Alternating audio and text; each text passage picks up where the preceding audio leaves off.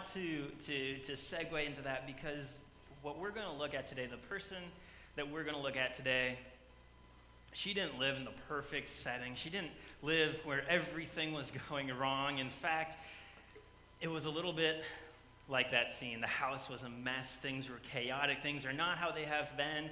Uh, the husband, she's not getting any help, but yet she has to rise up and, and do it herself. So I'm going to call uh, Caleb up, and he's going to read for us. We're going to be in Judges chapter 5 today. So if you can turn there in your Bibles, click there in your Bibles. Please follow along with Caleb as we read Judges chapter 5, verses 1 through 9.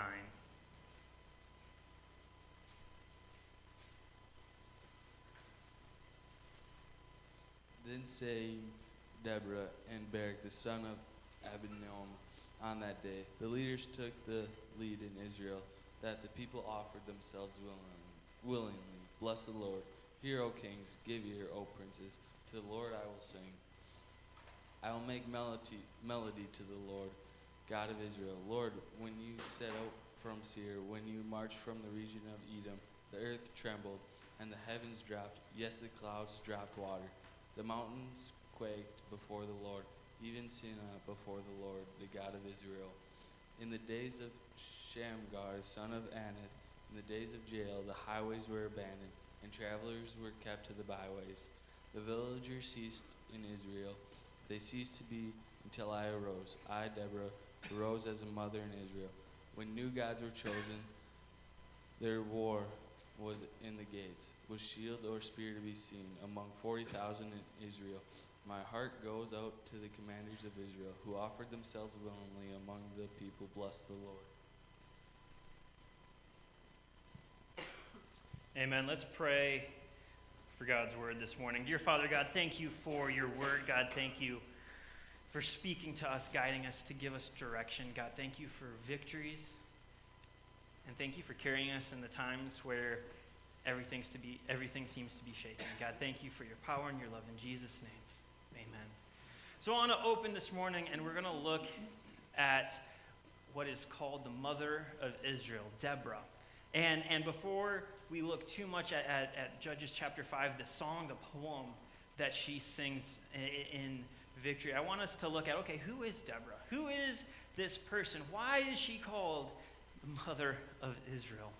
Well, if you turn back to Judges chapter 4, we see kind of this cycle of what's happening with the people of Israel, the children of Israel. In Judges chapter 4, 1 through 3, we see that the people had been doing their own thing. It says the people again did what was evil in the sight of the Lord, and, and they started doing things how they wanted to do it. And as a result, they were conquered. They were taken captive. And then it says, then they cried out to the Lord for 20 years. So here comes Deborah. Here, here's the scene that we see Deborah coming in. It's kind of like that scene in, in Mom's Night Out. Deborah doesn't come on the scene where everything's organized, things, systems are not put in place, her house is not kept in order. Rather, she is operating in a very chaotic time. They have gone away from God, and as a result, they've been taken over. Her life is not what she wanted it to be right now. No one hopes that they are taken over, that they are captives. No one aspires to be a slave or a servant to a country. But that's where her life was at. And if we continue on in Judges chapter 4, verses 4 and 5, we see her leadership. And again, moms, I want to speak to this because sometimes God uses you guys, and very few times does God make everything nice and calm and easy and then call you to lead. Oftentimes, it's in the heart of the storm, it's in the midst of trials, it's in the depth of pain that God calls us to rise up. In Judges chapter 4, verses 4 and 5, we see just the impact of Deborah's leadership we see that, that uh, she was a prophetess and that she judged Israel. And she used to sit under a palm tree and she judged between Ramah and Bethel. And, and I bring these places up because it's not like Deborah just like was like a mom to like a whole bunch. Like she wasn't like the neighborhood mom. No, her her leadership was very large. And, and if you continue to read, it says people would come to her, they would seek her judgment. And I can't think of a better illustration of what a mom does. When I come home, Adrian usually says, The kids have been fighting all day. I just don't want any more verbiage.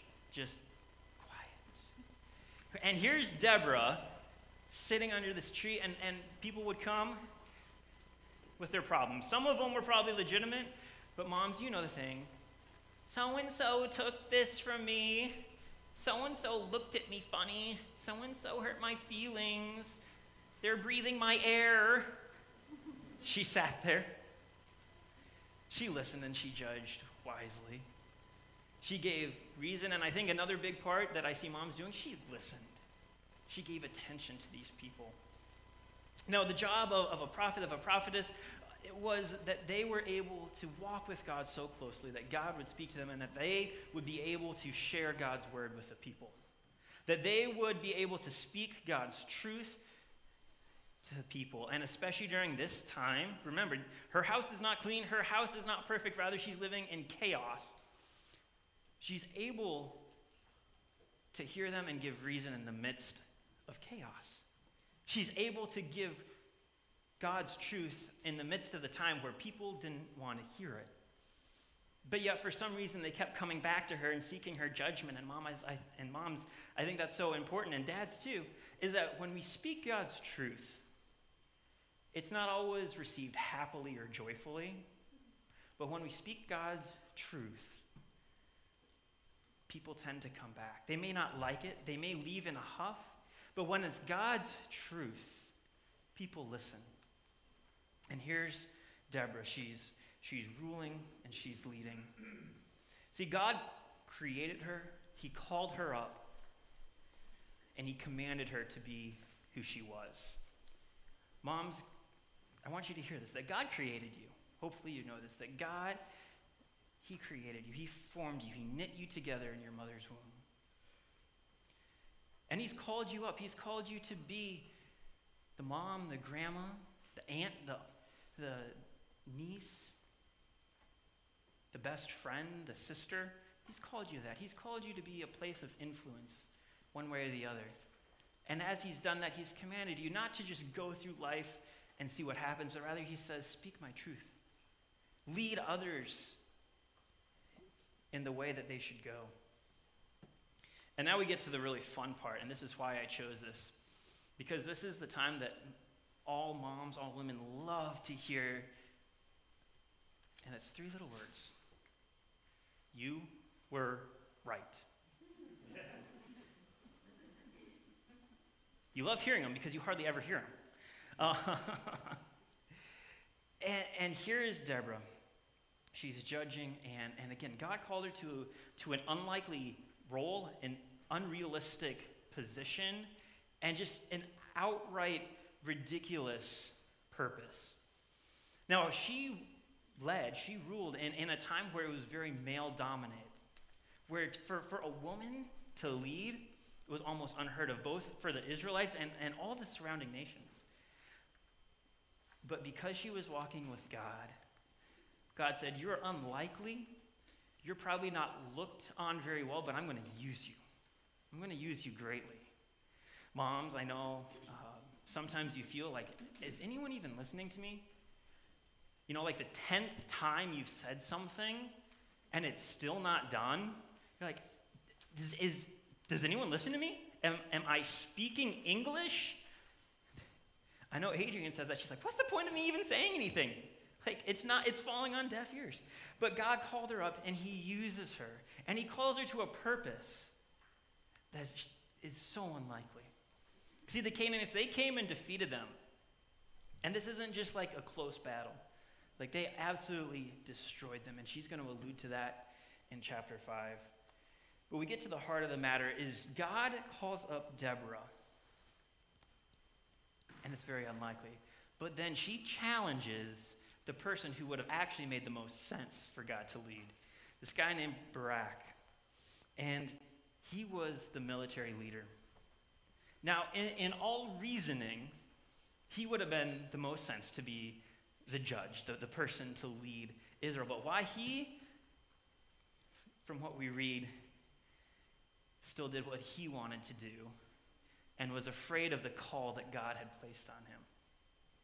See, in, in Judges chapter 4, 6 through 10, we see the account of Deborah calling him.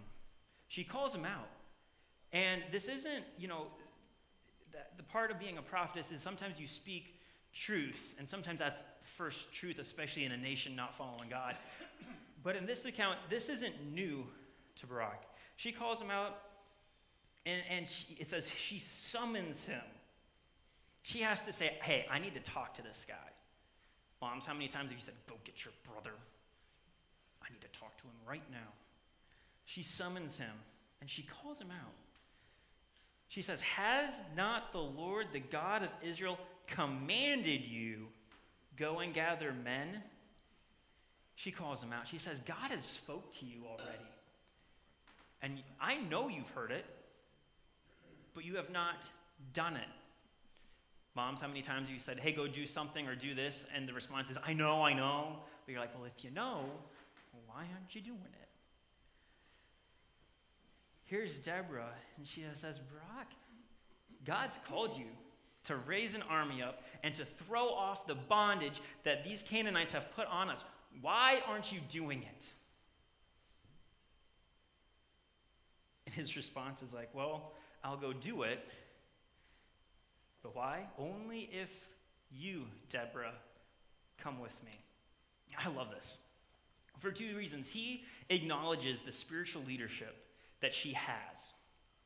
And during this time, we also see that Deborah stepped up because there was no male spiritual leadership. That She says, I am not willing to let God go unnoticed and unfollowed. I'm going to step up and lead. And Barak notices that and he asks a woman who would have had no military training, he says, I'm not going to go into battle unless you come with me. Again, that makes no sense, except for the fact that he knew she was walking with God. He could sense that, mom. Sometimes kids are going to walk away and push, but we got to stay strong. Because eventually they'll come around and they'll ask for help. I think sometimes guys can be the strongest when moms are there. Why? Because when they get hurt, well, yeah, when they get hurt, not if they get hurt, when they get hurt, they know they can go back to mommy. And she'll kiss it and put a band aid on it and make it all better. So they can be tougher as long as mom's there. But when mom's not there, maybe they're not as, as tough. They might make worse choices when mom's not there. But here we see her calling up Barak. And she says, Fine, I'll go with you. I'll go with you, Barak. But know that the victory that the Lord is going to give our nation is not going to go to you. Rather, it's going to go to a woman. Barak, because you have not listened to God, because you've not obeyed God, because you do not have the faith that it takes to step up and step out, that is not going to be rewarded. It's going to go to someone who's willing to do the hard thing that God asks. So we see the battle go, and, and I, I love how this battle is actually won. You know, we think, you know, okay, Deborah's probably going to get, you know, the last swing at it, but it's actually this, this completely other woman, and I'm not going to go into it because it's like mm, PG 13 plus. Um, so if you want to know more, continue reading Judges chapter 4. All I can say is it's super intense. If you know how it happened, that was a funny play on words. If not, read it. Um, yeah, yeah, intense. So here we come down to chapter 5. They've won the battle. They are free, and, and we have to realize, you know, they have been oppressed. They have held, been held captive for so long. That in the midst of this, Deborah stops and she writes this poem. She sings this poem. She sings this song and this wasn't rehearsed. We see that it, it comes right after this, that she didn't take a t- she didn't go away, write in her journal, and then come back and say, hey guys, I have this song, listen to it. This poem, this chapter five, this wells up from an attitude of grace and of glory and love for God. that just came out of her, that she recognizes how great and how good God is, and she exclaims this. Now, um, Caleb already read for us uh, chapter 5, 1 through 9, and that was from the ESV. And I'm going to read uh, from the message paraphrase. It, it gives a little bit, um, just kind of the melody that it goes. It says, The day that Deborah and Barak, son of Abinoam, sang the song, when they let down their hair in Israel, they let it down and blow in the wind. The people volunteered with abandon. Bless God. Hear, O kings, listen, O princes. To God, yes, to God I'll sing. I'll make music to God, to the God of Israel. God, when you left Seir, you marched across the fields of Edom, the earth quaked. Yes, the skies poured rain. Oh, the clouds made rivers. The mountains leapt before God, and Sinai, oh God, before God, the God of Israel. In the time of Shamgar, the son of Anath, in the time of Jael, public roads, they were abandoned. Travelers, they went by back roads. Warriors became fat and sloppy. No fight was left in them. Then I, Deborah, rose up and I got up, a mother in Israel. God chose new leaders who fought at the gates, and not a shield or spear has been seen among the 40 companies of Israel. Lift your hearts high, O Israel, with abandon, volunteering yourselves with the people. Bless God. I read this and I love this song. At first, it starts off Deborah makes kind of two parallels a, a contradiction. She stops and she says, Look at what has happened when we followed God. And then later in, in verses 6 through 8, she says, Look at where you were. Look at what God did when you followed him compared to where you were when you were doing things on your own. I think of this as um, right now we're in the shoe tying stage. And, and, moms, I'm sure you guys can think of a lot more of examples like this, but I think this always and only happens when you're in a hurry. And you're like, all right, let's get your shoes on, let's go. And you, and you go, and someone has their shoes tied, and you're like, all right, let me help you. And they're like, let me do it. Like, okay, let me, let me, I can just, we got a quick, let me do it. Like, okay. So you watch your kids struggle, and you're just like, come on, we gotta go. And you watch them, and like, they've only got like the knot tying part down. So it's like a knot, and then another knot, and then another knot, and you're just like, no Oh, this is going to be so bad. And you're like, Can I help you? Like, No, let me do it myself, mom. Until what? Until finally you either hit your breaking point because you've had one of those days, or they say, Okay, mom, help me out. And at that point, you have like this shoestring of like 17 knots that you're just like, Oh, you got to untie them before you can start really tying the shoe. I think Deborah's trying to get them to realize how the Israelites' behavior was. See, they were in this cycle of God had provided to, for them, and then they say, you know what, maybe we could do something better or something else is here. And then they would start to go off, and they'd start doing things their own way, to the point where they were pushing God away, and to the point where they were rejecting God, to the point where then they were trying to do things on their own without God, and then that led to being conquered. And all the time, I, I, just, I just see God as sometimes when you're watching your kids struggle. Hey, let me help you. No, no, no. No, I, I, let me just help you. I can do it. No. Okay, I'm, I'm here if you need I can do it myself. Watching as, as the situation goes from bad to worse the entire time, knowing if you would just let me help you, I could fix this. This would be done already.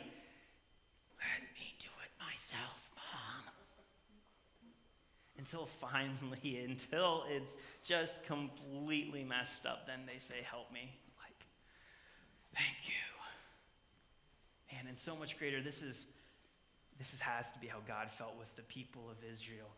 Just seeing them go away from them, make an absolute mess of something good that He's created, but yet they think it's not good enough or we can do it better ourselves. Deborah says, Remember where that got you.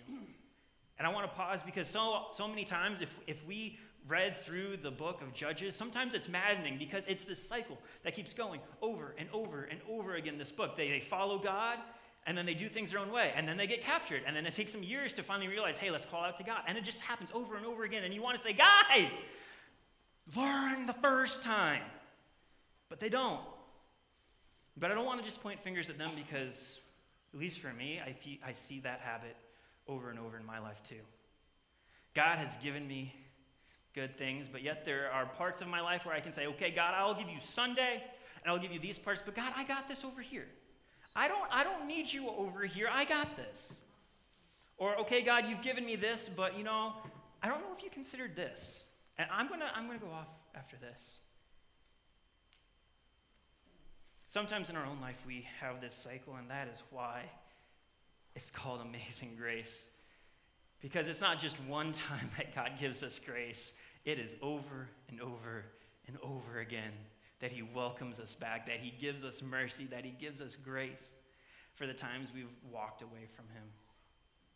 So, in, in her contrast, she says, Look at the victory God has given us. And it is important that she stops them and says, Guys, don't miss this blessing that God's given us. Sometimes when good things happen, it's so uh, challenging and so frustrating that we give that glory, that blessing to anything else. And sometimes we miss the fact that that's God's gift to us. She says, This is what God has given to us. Don't miss this. And then she puts in contrast where they were. Look with me in verses 6, 7, and 8. These, these are the points. She's describing how bad life was to them it, it says, she talks about the highways were abandoned. They took the back roads. Okay, the people of Israel, it was so bad that they were afraid to take the main route. Why? Because they were afraid of their captors robbing them. That they wouldn't go on the highways and, and they would have to sneak around the back ways. They were not safe to travel. They, and again, that affected then their trade. Trade dwindled in verses 7, it says, Villagers ceased in Israel. They ceased until I arose. Verse 8, it said, and excuse me, uh, verse 8 says, Then when the gods were chosen, their war was in the gates. Was a shield or a spear to be seen among the thousands in Israel? So their just bullheadedness had now cost them travel, which caused economic downfall, which caused their military to dwindle. I, I, find it funny in the message paraphrase that it says, you know, the warriors were fat and sloppy. There was no fight left in them. When you don't have weapons, when you don't have training, you're not ready for war. And in fact, the, the people ruling over them, they didn't want them to have an army. They didn't want them to have a fight left in them. Their walls were obliterated, obliver, that's a hard word, were destroyed. and they were reduced to almost nothing. Do you see what Deborah's doing? She says, guys, the victory God gave us was not anything we could do. We couldn't even travel to, to trade we, our warriors, didn't have their, even enough spears or shields for everyone.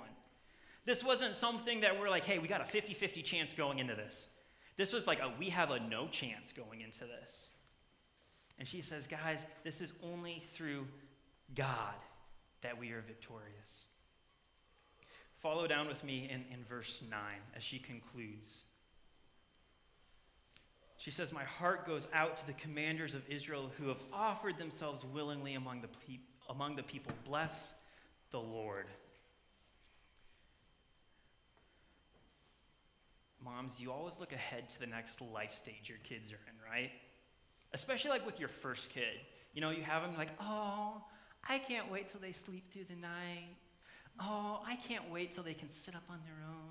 Oh, I can't wait till they crawl. Oh, I can't wait till they walk. I can't wait till they talk. And then you're like, I can't wait till they be quiet. I can't wait till they learn how to sit still. And we're always looking ahead to the next stage, to the next good thing.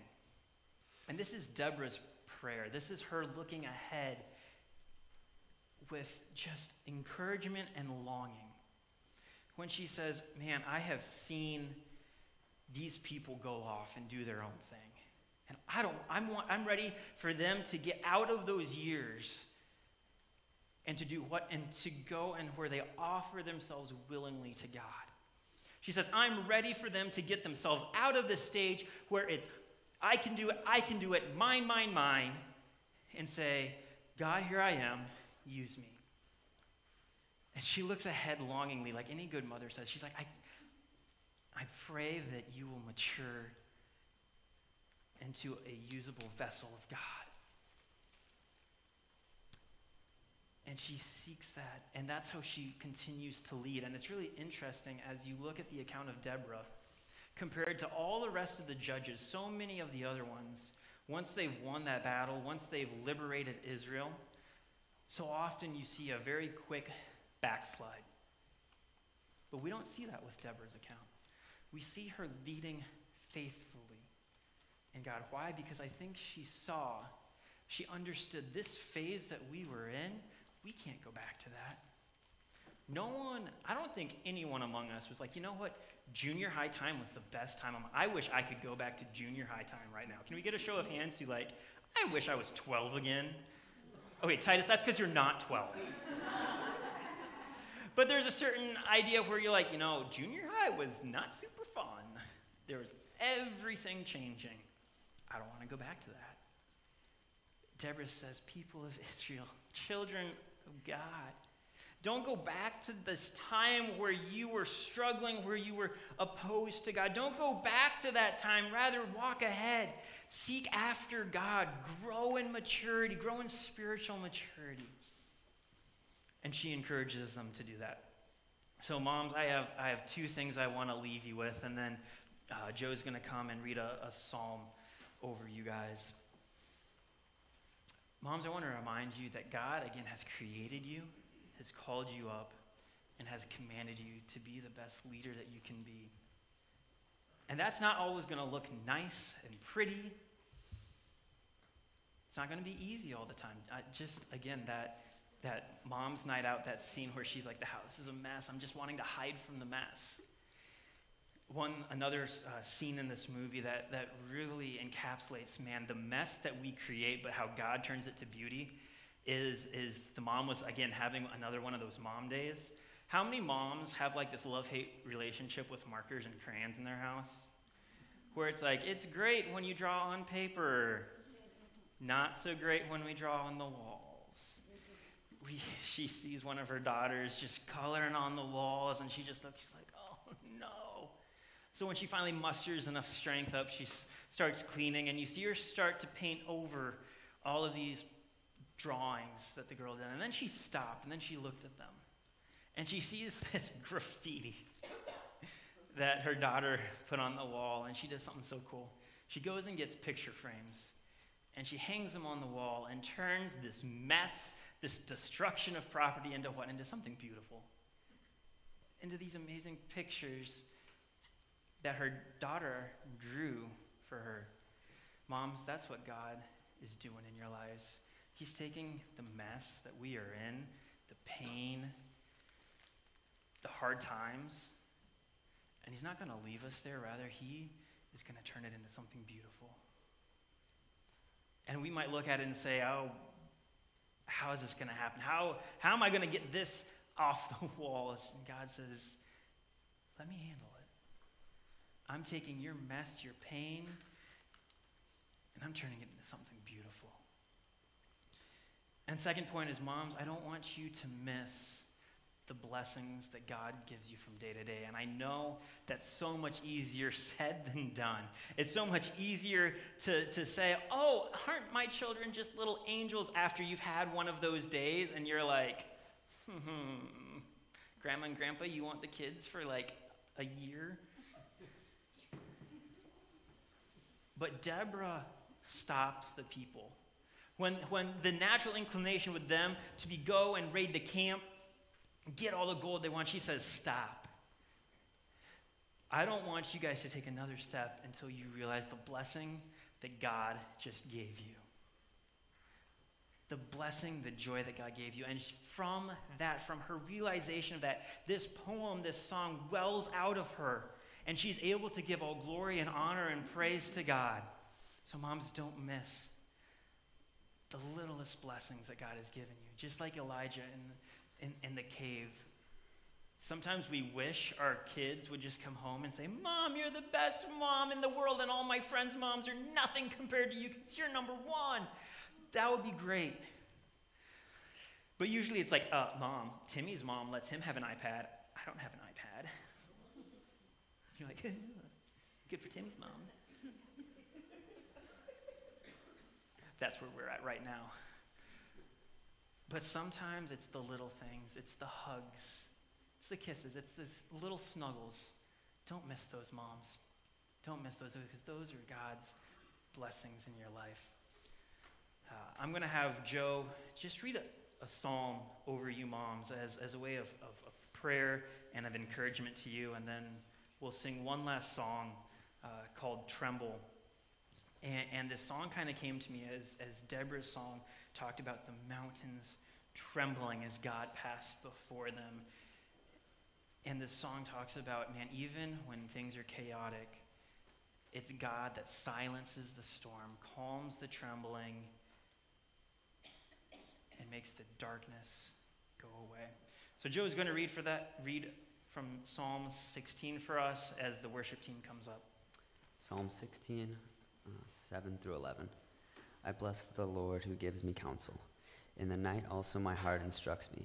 I have set the Lord always before me. Because he is my right hand, I shall not be shaken. Therefore my heart is glad, and my whole being rejoices. My flesh also dwells secure.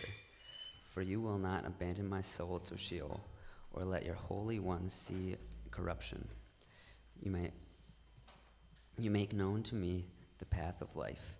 In your presence there is fulfillment of joy. At your right hand are pleasures forevermore. God, I just thank you for, for moms. God, I thank you for your presence in our lives. And God, I just let this song awaken in us the times that are hard that we think we have to do things on our own. But God, let us give them to you. Just pray these things in Jesus' name. Amen. Stand with us as we sing Tremble.